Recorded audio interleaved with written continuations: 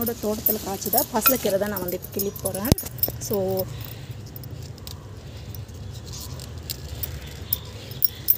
இது வந்து பார்த்திங்கன்னா பெருசு பெருசாக ஆகிருக்கு இது வந்து பார்த்திங்கன்னா ஓ ஆ பேபி ஆ வர வரேன் ஸோ எங்கள் குட்டி பாப்பா வந்து கத்தின்னு இருக்காங்க கீழேருந்து இது வந்து பார்த்திங்கன்னா டெரஸ் மேலே வந்து வச்சுருக்கேன். அண்ட் இது வந்து பார்த்திங்கன்னா சூப்பராக இருக்கும். கீரை கிள்ள கிள்ள தான் வந்து பார்த்திங்கன்னா அது வந்து நல்லா க்ரோ ஆகும். மேக்ஸிமம் வந்து பார்த்திங்கன்னா இது மாதிரி வந்து கிளிக்குங்க ஸோ இது வந்து பார்த்திங்கன்னா இங்கேன்னா பெங்களூர்லலாம் வந்து பார்த்திங்கன்னா ஒரு கட்டு கீரை வந்து நாற்பது ரூபா. ஸோ எனக்கு வந்து பார்த்திங்கன்னா என் ஃப்ரெண்டு வந்து ஃபோன் பண்ணி சொன்னான் இது மாதிரி வந்து இந்த மாதிரி கீரை வந்து வாங்கி போட்டு வை இது வந்து நல்லா வரும் அப்படின்னு சொல்லிட்டு. ஸோ அப்புறமா தான் நான் வந்து எனக்கு தெரிஞ்சு நான் போட்டேன். ஸோ அதுக்கு முன்னே வந்து இந்த கீரை வந்து எனக்கு தெரியாது.